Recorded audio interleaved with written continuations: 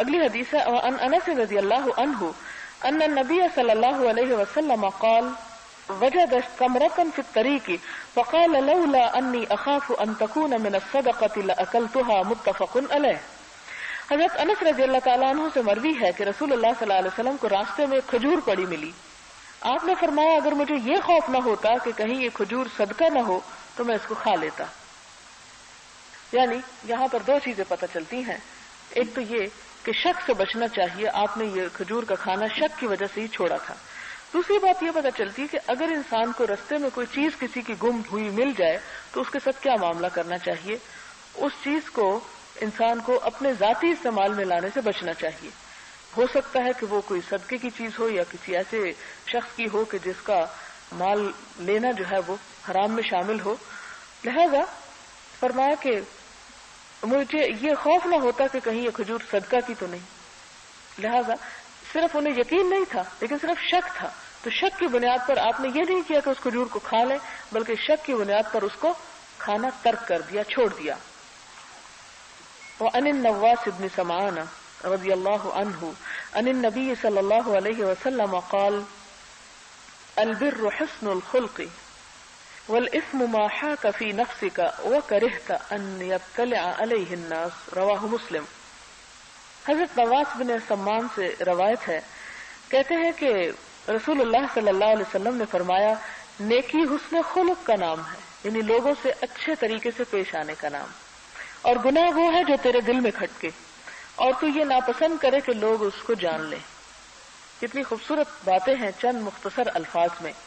پہلی بات یہ کہ نیکی جس طرح قرآن پاک میں آتا ہے کہ لم تنال البر حتى تنفقوا مما تحبون، تم نیکی کو ہرگز نہیں پا سکتے یہاں تک وہ خرچ نہ کرو جو تمہیں خود پسند ہے یعنی اپنے لیے جو پسند کرتے ہو۔ دوسرا یہ کہ لیس البر ان تولوا وجوهكم قبل المشرق والمغرب، کہ نیکی یہ نہیں کہ تم اپنے چہرے مشرق یا مغرب کی طرف کر لو، لیکن نیکی کیا ہے کہ جو اللہ پر ایمان لے اور آخرت پر اور وعدہ پورا کرے اور غریبوں کے اوپر مال خرچ کرے اور بہت سی تفصیلات اس کی ملتی ہیں۔ تو یہاں پر بھی ذکر کیا گیا کہ نیکی دراصل کس چیز کا نام ہے؟ لوگوں کے ساتھ اچھا معاملہ کرنے کا نام، خوش اخلاقی سے پیش آنے کا نام۔ اور پھر، اور گناہ وہ ہے جو تیرے دل میں کھٹکے۔ گناہ کیا ہے؟ جو تمہارے دل میں کھٹک جائے، جس پر تمہیں بے چینی ہو جائے۔ یعنی فتوا تو بعد میں لو، پہلے اپنے دل سے پوچھو۔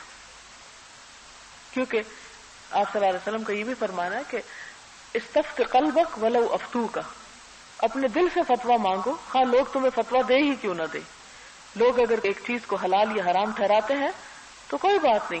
تمہیں کیا چاہیے؟ کہ تم اپنے دل سے بھی پوچھو کہ جو کسی نے حلال کر دیا تمہارے لیے، واقعی تمہارے لیے حلال بنتا ہے یا نہیں۔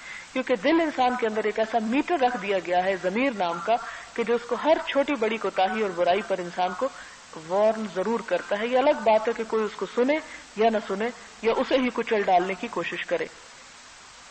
اور فرمایا کہ اور تو یہ ناپسند کرے کہ لوگ تمہارے دل کے حال پر مطلع ہوں۔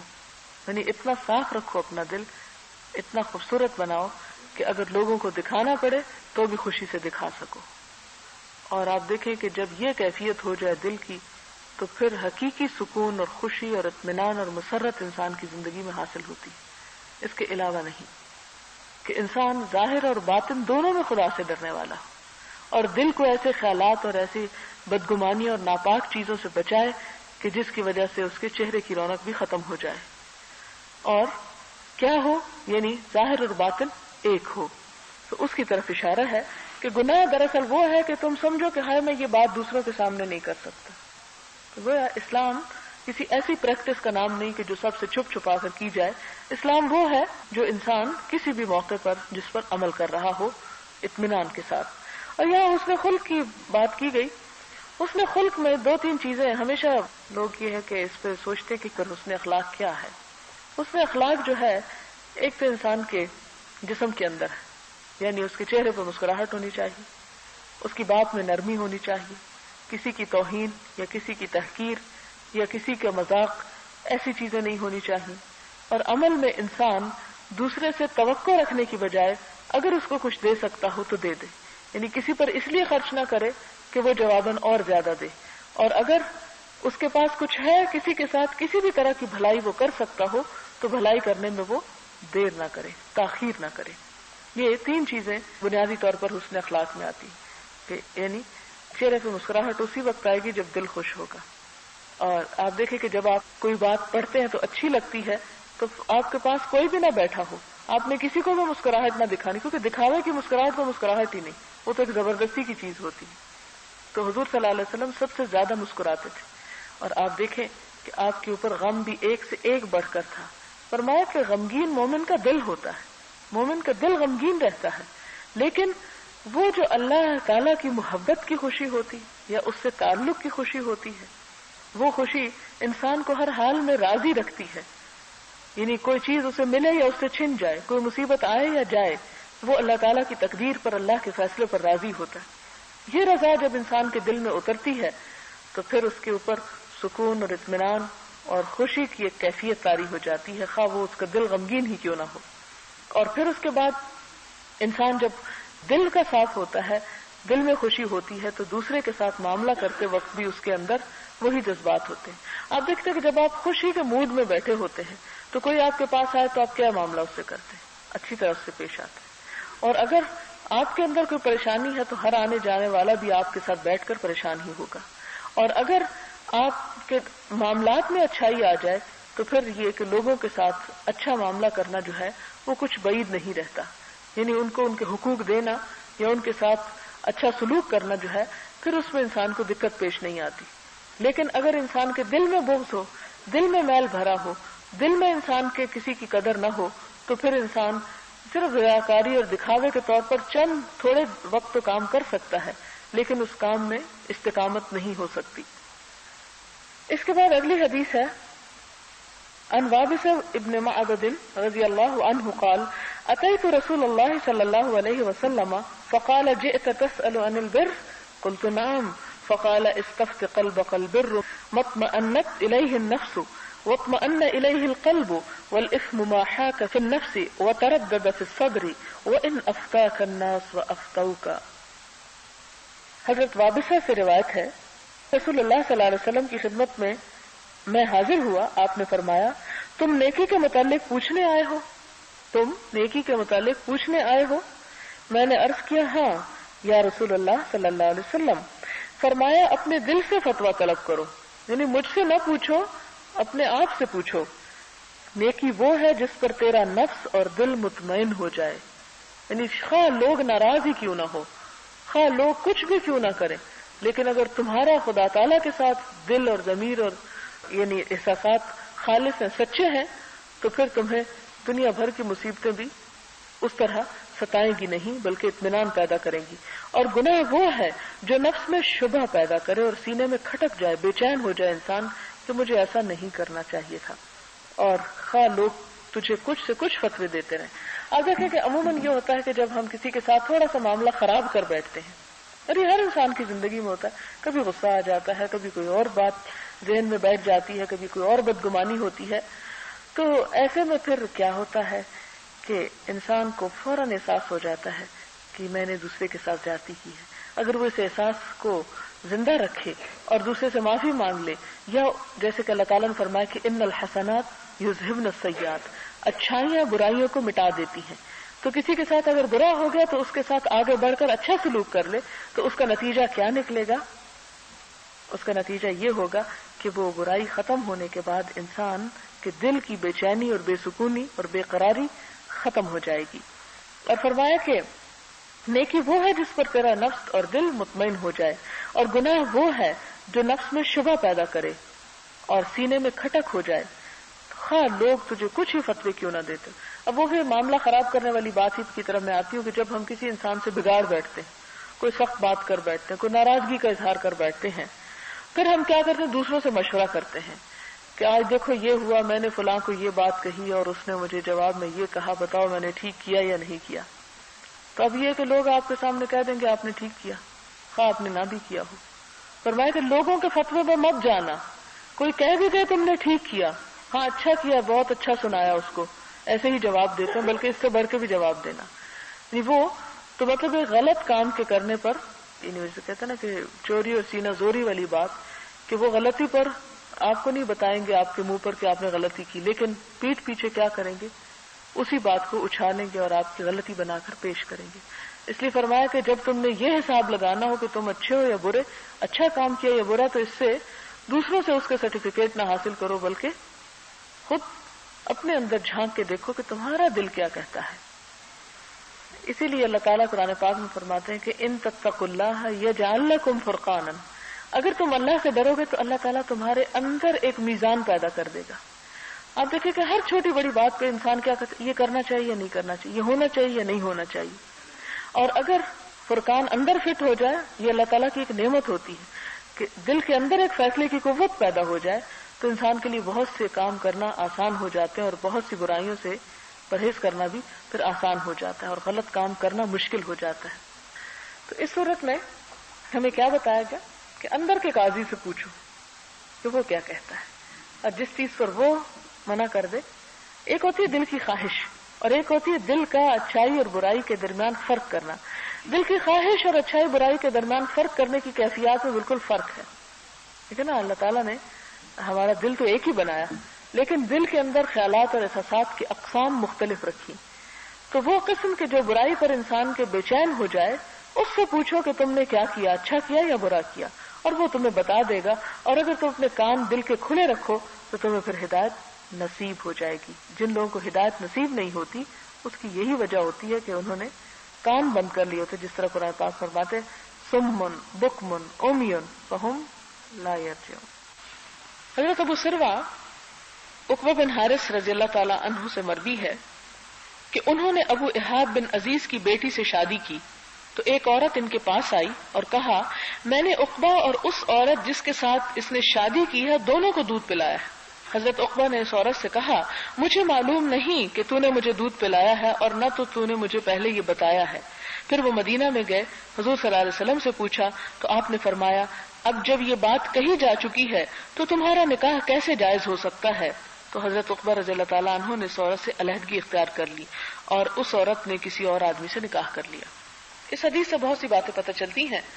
پہلی بات تو یہ کہ ایک عورت کی گواہی ایسے معاملات میں اکیلی بھی قابل قبول ہوتی عموماً عورتوں کو شکوہ رہتا ہے کہ ہماری عورت کی گواہی جو ہے وہ ایک آدمی کے برابر دو عورتوں کی گواہی کیوں ہے؟ ہم کوئی آدھی چیز ہے، آدھی ہستی ہے اور ہم کوئی سیکنڈ کلاس ہے بات یہ نہیں، گواہی جو ہے وہ کوئی انعام نہیں کہ جسے آپ کو ملنے سے رہ گیا۔ گواہی ایک بہت بڑی ذمہ داری کی بات ہے۔ مثال کے طور پر آپ کچن میں کھڑے ہیں۔ نوکر گلاس توڑ دیتا ہے۔ مالک آپ سے چاہتا ہے گواہی لے کہ آپ نے دیکھا اس نے جان کے توڑا یا خود ٹوٹ گیا۔ آپ اس وقت کیا چاہیں گے؟ کہ آپ سے گواہی لی جائے؟ آپ یہ چاہیں گے کہ مجھے چھوڑ دیا جائے۔ مجھ سے نہ پوچھا جائے کہ یہ کس نے توڑا اور کس نے نہیں توڑا۔ اس لیے کہ اگر آپ جھوٹی بات کہتے ہیں کہ نہیں توڑا، تو ہو سکتا ہے مالک ناراض ہو اور دنیا کا مالک نہ بھی ناراض ہو تو وہ بڑا مالک ضرور ناراض ہوگا، کیونکہ جھوٹی گواہی ان جرائم میں سے جنہیں حضور صلی اللہ علیہ وسلم نے بہت ہی شدت اور سختی کے ساتھ جس سے منع کیا۔ اور اس میں بہت سخت وعید بھی سنائی۔ اور اگر آپ صحیح گواہی دیتے ہیں، تو اس شخص کے دل ٹوٹنے کا اندیشہ ہے کہ وہ ناراض ہوگا، وہ خفا ہوگا۔ تو کسی بھی موقع پر گواہی دینا ایک بہت بڑا بوجھ ہے۔ اس لیے یہ اس میں ناراض ہونے کی بات نہیں کہ ہمیں ایک بوجھ سے آزاد کیوں کیا گیا۔ ویسے تو عورتیں آزادی چاہتی ہیں۔ لیکن معلوم نہیں گواہی کے معاملے میں کیوں برڈنڈ ہونا چاہتی ہیں۔ خیر، یہاں پر یہ بتاتی چلوں کہ خاندانی معاملات میں، رضاعت کے معاملے میں، نصب کے معاملے میں مرد کی گواہی مانی نہیں جاتی، لیکن انہوں نے کبھی نہیں شکوا کیا۔ عورت کی گواہی اور وہ بھی ایک عورت کی گواہی کافی ہے، جیسے کہ اس بخاری کی روایت میں آپ دیکھ رہے ہیں کہ اس ایک عورت نے کہا کہ میں نے تمہیں بھی دودھ پلایا اور تم نے جس سے نکاح کیا اس کو بھی پلایا تھا، لہٰذا تم آپس میں دونوں رضائی بہن بھائی ہو۔ تو مرد جیسے اپنی نیچر میں ہوتے ہیں، اس نے فوراً حضرت اقبا نے کہا کہ مجھے نہیں پتا کہ تم نے پلایا کہ نہیں پلایا۔ یعنی اس نے ماننا نہ چاہا اس بات کو۔ اور نہ تو نے مجھے پہلے یہ بتایا۔ تو اب میں کر چکا ہوں، تو اب بس جانے دو اس بات کو۔ لیکن کیا ہوا؟ دل میں کھٹک آ گئی، شک پڑ گیا نا۔ انکار تو کر گئے، میں نہیں جانتا کہ تو نے پلایا کہ نہیں پلایا۔ اور وہ اپنے آپ کو تسلی دے دیتے۔ لیکن شک پڑ گیا۔ یہ بات، چونکہ شک کے بعد میں آ رہی ہے نا، بات شک والی چیزوں کو چھوڑ دو۔ تو اس کی مزید تسلی کے لیے حضور صلی اللہ علیہ وسلم کے پاس مدینہ جاتے ہیں اور آپ سے یہ مسئلہ دریافت کرتے ہیں۔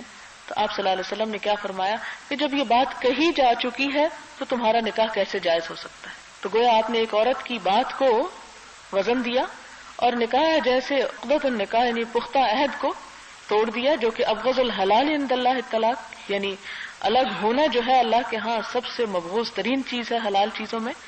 تو اس میں آپ دیکھیں کہ آپ صلی اللہ علیہ وسلم نے فرمایا کہ جو کہی جا چکی ہو چکی بات، تمہارا نکاح اب یہ جائز نہیں۔ تو گویا شک والی بات سے بچنا جو ہے وہ انتہائی ضروری ہے۔ اور پھر حضرت اقبا نے حضور صلی اللہ علیہ وسلم کی بھرپور اطاعت کی۔ انہوں نے یہ نہیں کہا کہ میرا اتنا حرج ہوا اور اتنا نقصان ہوا اور میں اب چھوڑ نہیں سکتا۔ فوراً آپ نے بات مان لی۔ اس سے صحابہ کرام کا جذبہ اطاعت آپ کے سامنے آتا ہمیں اگر کوئی بات کہے کہ یہ حضور صلی اللہ علیہ وسلم نے فرمایا اور ایسا نہیں اور ایسا کر لو، تو ذرا ہم اپنے دلوں کا حال دیکھیں کہ کریں گے یا نہیں کریں گے۔ اور کتنی دفعہ جان کے بھی پھر وہ نہیں کریں گے جو آپ نے کہنے کو کہا ہو۔ تو پھر ہماری محبت کا کیا عالم ہوا۔ بہرحال، اس کے بعد انہوں نے کیا کیا؟ عورت کو جدا کر دیا اور عورت نے کسی اور آدمی سے نکاح کر لیا۔ یعنی جس سے یہ پتہ چلتا ہے کہ اس معاشرے میں نکاح کرنا کوئی بہت بڑا وبال نہیں تھا، کوئی مصیبت نہیں تھی، بلکہ آپ دیکھتے ہیں حضرت اسما بنت امیس کا واقعہ آپ نے پڑھا ہوگا۔ سیرت صحابیات میں آپ دیکھیں کہ اس میں ان کے چار یا پانچ نکاح ہوتے ہیں، جس سے نکاح کرتی وہ فوت ہو جاتا ہے۔ اور ایک دوسری، تیسری مرتبہ جب ان کا نکاح ہوتا ہے، تو اس موقع پر کوئی ان کو منحوس نہیں قرار دیتا کہ یہ وہ عورت ہے جس سے تین لوگوں نے نکاح کی اور تین کے تین مر گئے، چوتھا پھر کرتا ہے۔ اور پھر پانچویں چھٹی مرتبہ جب ہوتی ہے، تو وہ کہتی ہیں کہ نہیں، بس اب میں تھک چکی ہوں، میں اب نکاح نہیں کروں گی۔ تو یہ مثالیں ہمیں اس معاشرے میں کہیں نظر نہیں آئیں گی۔ ہمارے ہاں نکاح کرنے کے لیے اور شادی کرنے کے لیے معیار اتنے بلند کر لیے گئے ہیں کہ اچھی بھلی سمجھدار، ذہین اور بہترین لڑکیاں صرف شکل و صورت میں کسی کمی بیشی کی وجہ سے اور وہ بھی اللہ نے بنائی کسی نے نہیں بنایا اور وہ اس کو تو ہم اپنی ایک خیالی صورت پہ پرکھتے ہیں۔ وہ ایک امیجنری پری کی شکل میں لڑکیوں کو پرکھتے ہیں اور جب اس پہ کوئی پورا اترے تو پھر ہی وہ نگاہ میں جچتی ہے۔ حالانکہ پریاں تو زمین پہ نہیں رہتی، ہوتے سب انسان اور شادی بھی پھر کہیں نہ کہیں سب کی ہو ہی جاتی ہے۔ لیکن اس پر اللہ تعالیٰ پوچھیں گے ضرور کہ تم نے اپنے معیار اتنے زبردست کیوں بڑھا لیے اور اپنے آپ کو اتنی مشقت میں کیوں ڈالا؟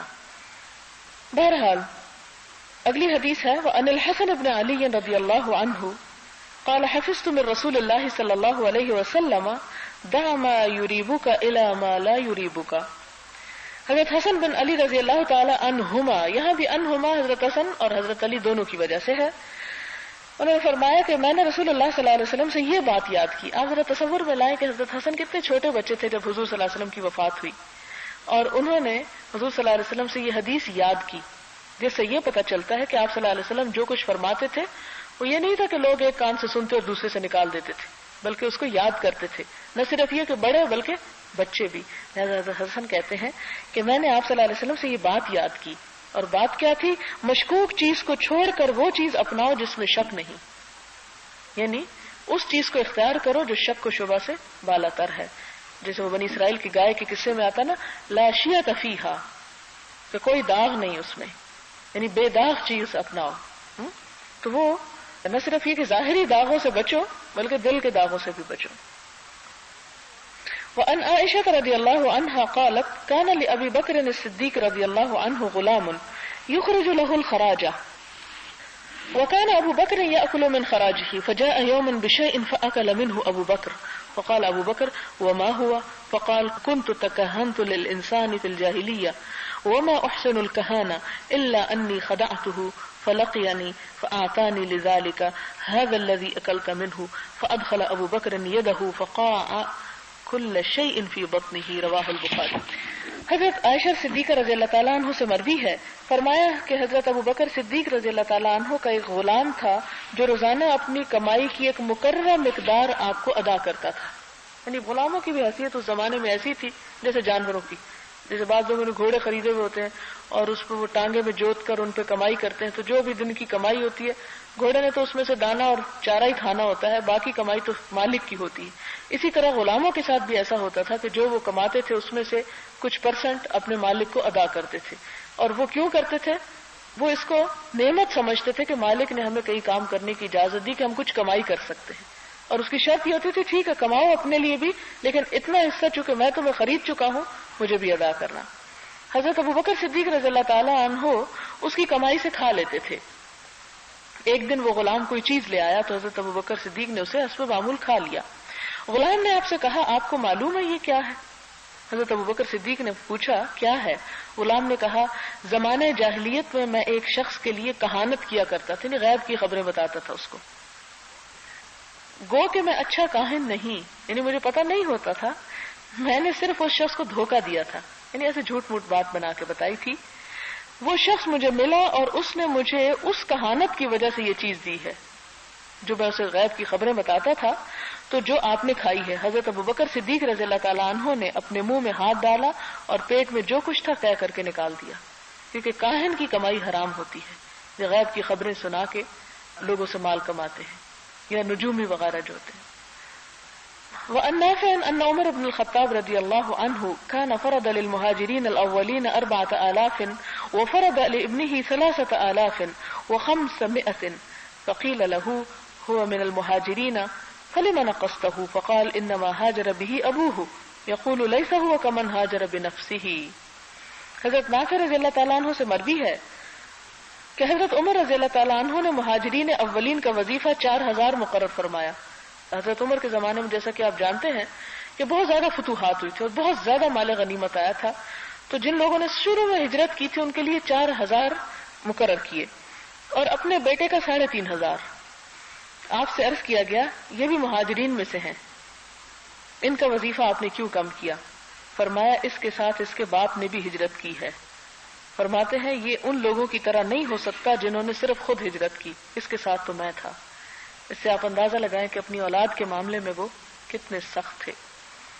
وعن أتية ابن أروة، السعدي الصحابي رضي الله عنه قال قال رسول الله صلى الله عليه وسلم، لا يبلغ العبد أن يكون من المتقين حتى يدع ما لا بأس به حذرا مما به بأس۔ حضرت عطیہ بن عروہ، سعدی صحابی رضی اللہ تعالیٰ عنہ سے مروی ہے۔ فرماتے ہیں کہ رسول اللہ صلی اللہ علیہ وسلم نے فرمایا، بندہ متقین کے مرتبے کو نہیں پہنچ سکتا، یہاں تک کہ وہ حرج والی چیز کے خوف سے اس چیز کو بھی چھوڑ دے جس میں کوئی حرج نہ ہو۔ یعنی شک والی مراد ہے، چیز اختیار نہ کرے۔ واخر دعوانا ان الحمد للہ رب العالمین۔ سبحان اللہ والحمد للہ ولا الہ الا اللہ واللہ اکبر ولا حول ولا قوة الا باللہ العلی العظیم۔ اللهم صل على سيدنا ومولانا محمد وبارك وسلم. اللهم صل على سيدنا ومولانا محمد وبارك وسلم. اللهم صل على سيدنا ومولانا محمد وبارك وسلم. ربنا آتنا في الدنيا حسنة وفي الآخرة حسنة وقنا عذاب النار. ربنا لا تزغ قلوبنا بعد إذ هديتنا وهب لنا من لدنك رحمة إنك أنت الوهاب. يا حي يا قيوم برحمتك نستغيث. اللهم اكفنا بحلالك عن حرامك وأغننا بفضلك عمن سواك. اللهم انفعنا بما علمتنا وعلمنا ما ينفعنا وزدنا علما وزدنا علما. لا إله إلا الله أنت الحليم الكريم. سبحان الله رب العرش العظيم والحمد لله رب العالمين. رب نسألك موجبات رحمتك وعزائم مغفرتك والغنيمة من كل بر والسلامة من كل اسم. لا تدع لنا ذنبا إلا غفرته ولا هما إلا فرجته ولا هما إلا فرجته ولا حاجة هي لك ردا إلا قضيتها يا أرحم الراحمين. یا رب العالمین جو کچھ ہم نے سیکھا ہے، ہمیں اس پر عمل کی توفیق عطا فرما۔ جو بات ہمارے سمجھنے میں غلط ہوئی ہو، ہمیں اس کی صحیح سمجھ عطا فرما۔ ہماری خطاؤں سے درگزر فرما اور بہترین غور و فکر کی توفیق عطا فرما۔ یا رب العالمین، تو ہمیں اپنے قریب کر لے، اپنی محبت عطا کر دے، ہماری ساری مشکلات کو آسان کر دے۔ اللہ تمام بیماریوں سے نجات عطا فرما، جسمانی اور روحانی مرضوں سے نجات عطا فرما۔ یا اللہ تو ہمارے والدین پر رحم فرما۔ یا اللہ تو ہماری اولاد کو ہدایت عطا کر، انہیں ہماری آنکھوں کی ٹھنڈک بنا۔ یا رب العالمین، تو دنیا اور آخرت میں ہم پر اپنی نظر کرم اور رحمت فرما۔ اور ہمارا شمار اور ہمارا قیامت کے دن جی اٹھنا صالحین میں سے کر دے۔ اپنے عرش الہی کے سائے تلے جگہ عطا فرما۔ یا اللہ تو ہمارا حامی و ناصر ہو جا۔ اللہ تو ہم سے راضی ہو جا۔ اللهم إنا نسألك من الخير كله عاجله وآجله ما علمنا منه وما لم نعلم۔ لا إله إلا أنت۔ ربنا تقبل منا إنك أنت السميع الدعاء وتب علينا إنك أنت التواب الرحيم وصلى الله تعالى على خير خلقه محمد وعلى آله وأصحابه وأهل بيته أجمعين برحمتك يا أرحم الراحمين الهي سبحانك اللهم وبحمدك نشهد أن لا إله إلا أنت نستغفرك ونتوب إليك. ایک دعا ہے حضور صلی اللہ علیہ وسلم نے سکھائی ہے، جو شخص صبح اور شام اس کو ساتھ ساتھ مرتبہ پڑھے، اللہ تعالیٰ اسے دنیا اور آخرت کے ہر طرح کے غم اور فکر سے نجات عطا کرتا ہے۔ اور وہ ہے، حسبی اللہ لا الہ الا هو علیہ توکلت وهو رب العرش العظیم۔ مختصر سی دعا ہے۔ اسے اپنی عادت بنا لیں۔ یہ پیارے رسول کی پیاری دعائیں ہیں اس میں لکھی ہوئی ہے صبح شام کی دعاؤں میں سے۔ لیکن بہت بہترین دعا ہے۔ یعنی ہر غم اور تفکر سے انسان کو نجات ملتی۔ حسبی اللہ لا الہ الا هو، علیہ توکلت وهو رب العرش العظیم۔ السلام علیکم ورحمۃ اللہ وبرکاتہ۔